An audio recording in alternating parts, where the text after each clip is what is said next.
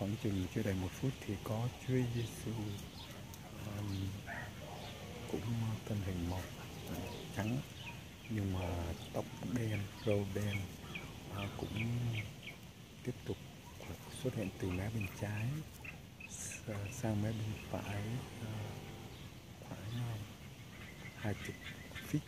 Xong rồi tiến gần là khoảng chừng năm tới bảy feet và giơ tay ra bắt tay còn thì con uh, con giơ tay ra và con trong tư thế nằm thì con nói con à, là người bị bệnh con không có đứng dậy được.